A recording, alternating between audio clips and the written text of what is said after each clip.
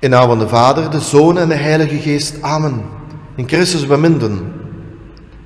Nadat de heilige Alfonsus ons bij de vorige conferentie de laatste algemene inleidende bemerkingen geschonken heeft, wil onze leermeester vandaag starten met het echte werk.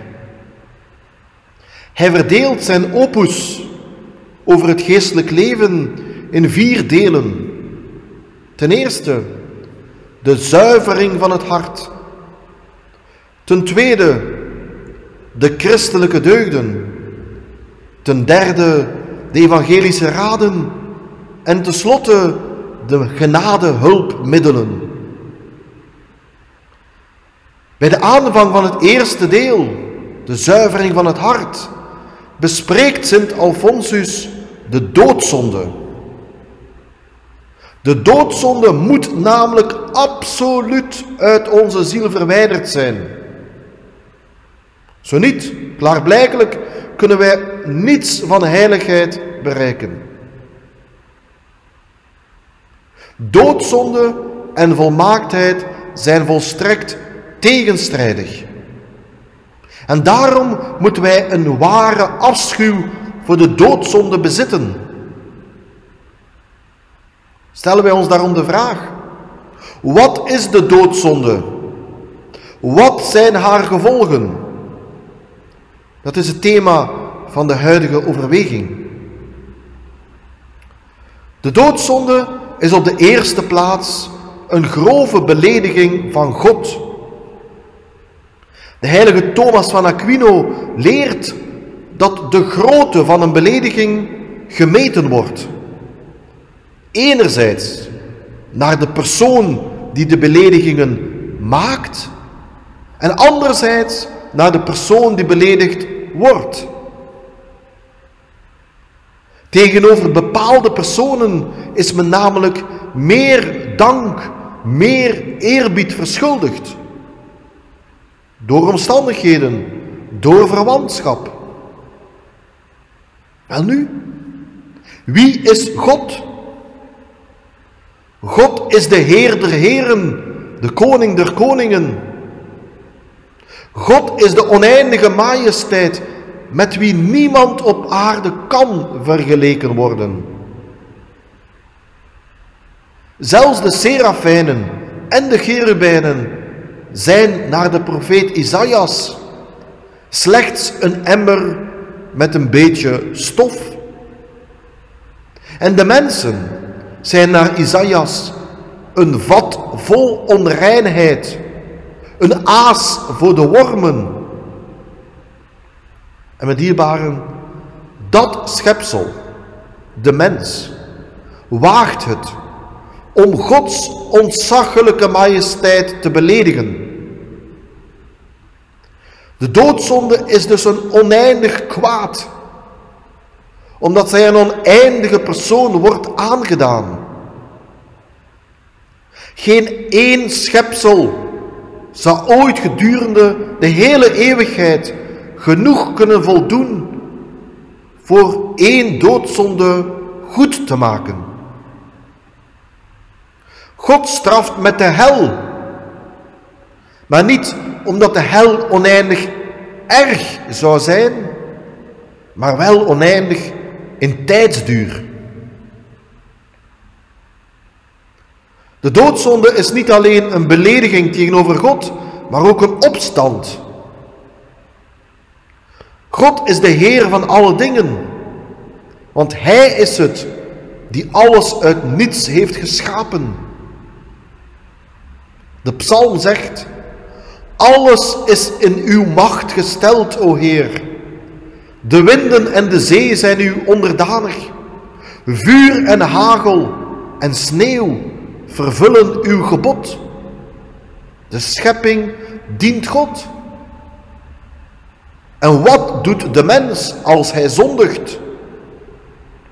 Hij zegt tot God, non serviam. Ik zal niet dienen.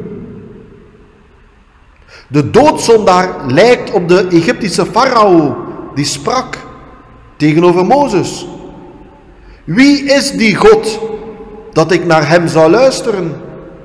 Ik ken hem niet. Ik doe wat mij behaagt. Ik ben mijn eigen meester.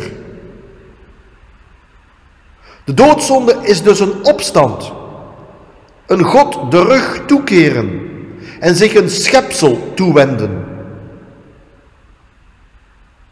En Sint Alfonsus bemerkt, wat denkt u als een mier begint te strijden met een krijgsman? Dat is dwaasheid, vermetelheid en zelfs nog een bijkomende belediging, een blindheid. Daardoor drukt de doodzonder, doodzondaar ook een verachting uit tegenover God. Niet alleen tegenover de grootheid van God, maar hij treedt ook de vriendschap met God met de voeten. Want wat verkiest de doodzondaar boven God? Yahweh zegt het ons. Zij ontheiligen mij om een handvol gerst, om een stukje brood. Dat betekent om een niets. De doodzondaar neemt een denkbeeldige weegschaal in de hand en hij overweegt wat zijn voorkeur verdient. Of Gods genade of de navolging van een hartstocht. En daadwerkelijk, de doodzondaar verklaart dat de doodzonde in zijn ogen meer waard is dan de vriendschap met God. Vriendschap met God. En God verzucht in de psalmen, met welk schepsel wilt gij mij vergelijken? Gij zoudt de zonde niet bedreven hebben, moest gij ervoor geld moeten betalen.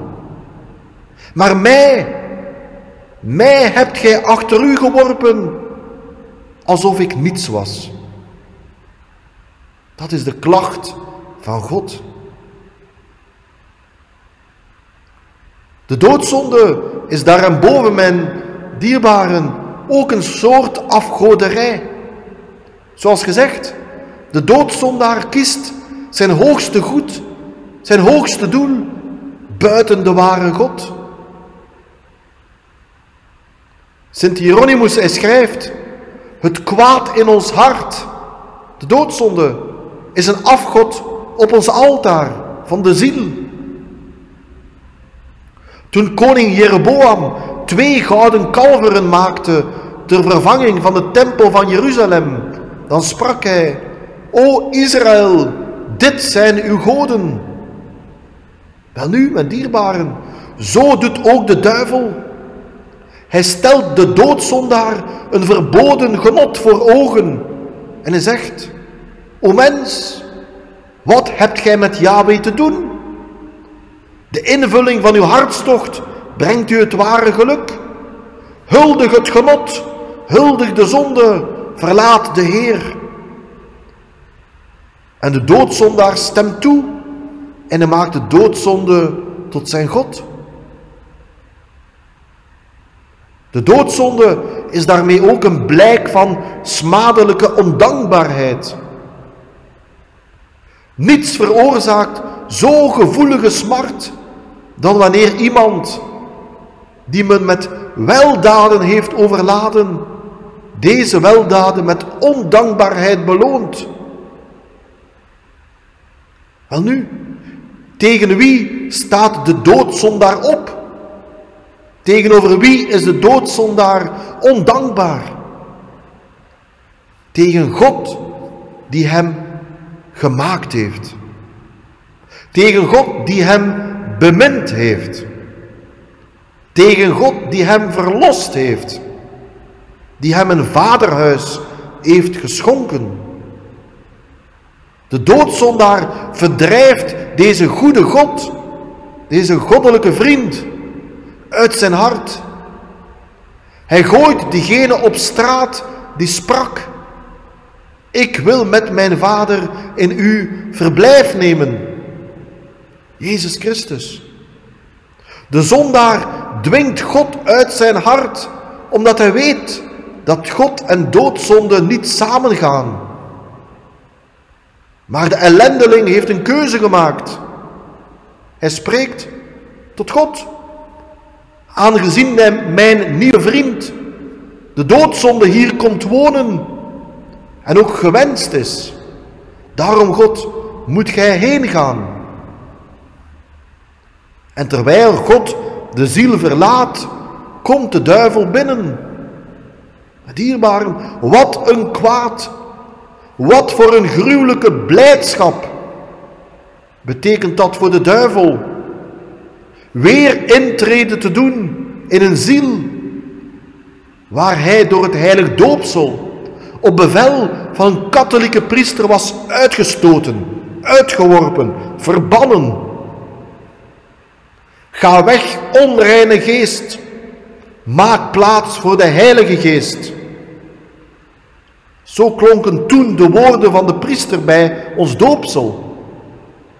En de Heilige Geest, de Geest van de liefde, die kwam daadwerkelijk. En weliswaar met al zijn gaven, genaden, geschenken. En de doodzondaar vergeet dat. Hij veracht dat. Hij is ondankbaar. Hij zegt: wijk en maak plaats voor de duivel.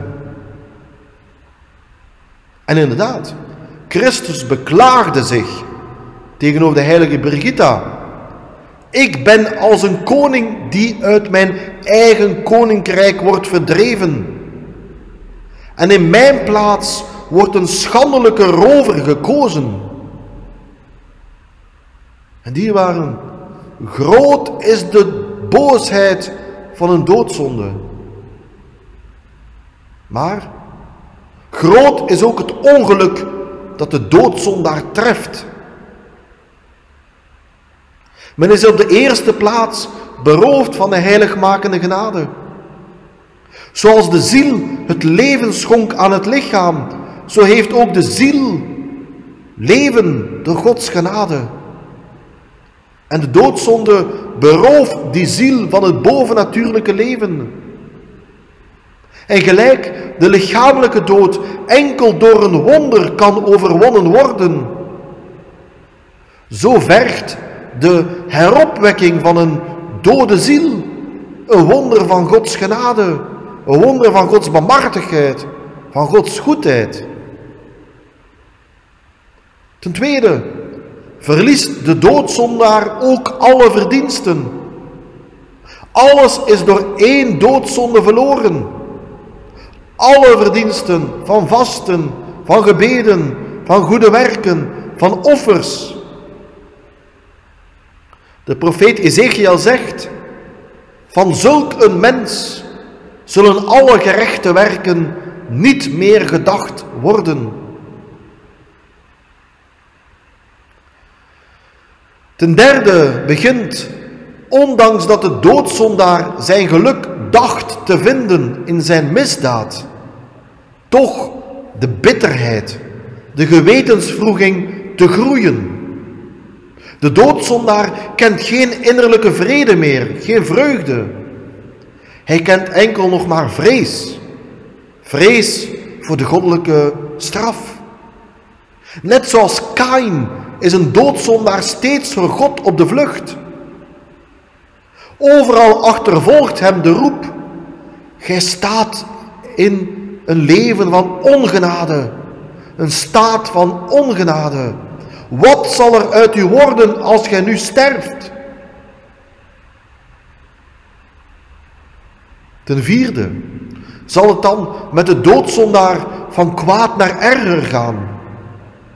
Men geraakt in een gewoonte van doodzonde. Men wordt zwakker, doffer, plomper.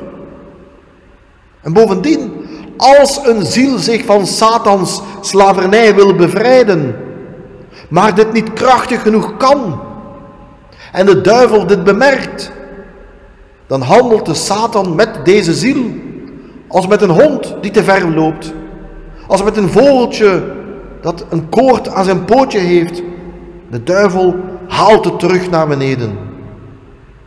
Erger nog, hij laat het vogeltje, de ziel, eerst vliegen. En terwijl het vogeltje of de ziel denkt dat het weer vrij is, dan smakt het de duivel weer met brutaliteit op de aarde neer. Hij levert ze over aan de wanhoop. Erge gevolgen van de doodzonde met dierbaren. Deze gevolgen moet men bedenken. Maar, zegt de heilige Afonsus, dan hebben wij zelf nog niet gesproken over het grootste ongeluk dat een verstokte zondaar treft. Het grootste ongeluk van een doodzondaar is namelijk niet in dit huidig leven te vinden, maar in het hiernamaals. Gescheiden zijn van God hier op aarde is ook gescheiden zijn van God in het eeuwig leven. En niet die duisternis, niet de stank, niet het gehuil, niet het vuur maken de hel uit, maar de smart, God verloren te hebben. De ergste kwelling bestaat in de hel, in de woorden, gaat weg van mij, gij vervloekte. Ik ken u niet. Wat betekent dat als onze schepper, onze verlosser, onze zaligmaker dat zegt? Ik ken u niet. Hij die ons gemaakt heeft, hij die ons bemind heeft. In Christus beminnen. En sluiten wij af voor vandaag. Danken wij onze heiland en danken wij Sint Alfonsus om ons nog eens duidelijk te maken wat het alternatief is van onze heiliging. Het alternatief van onze vervolmaking in de genade. Het alternatief van de liefde tot God in de vervulling van zijn heilige wil. Het alternatief is de doodzonde. Dat niets anders is, zeggen wij het nog eens, dan een onrechtvaardige, liefdeloze belediging. Een opstand tegenover onze schepper. Een ondankbare afgoderij. Voor niets of niemand willen wij zulk een misdadige actie voltrekken. En overdenken wij vandaag deze overweging. De boosheid van de doodzonde, evenals haar gevolgen. En kiezen wij dus dierbaar in deze vastentijd die doodzonde te bestrijden, te biechten, te mijden en daarvoor werkelijk een waarlijk geestelijk leven te leiden van onze ziel. En smeken we dit af vandaag, alle genaden van onze Hemelse Moeder Maria. Ik wens u nog een gezegende vastentijd en veel moed in een waarlijk christelijk, deugdelijk leven. Amen. Nou, de Vader, de Zoon, de Heilige Geest. Amen.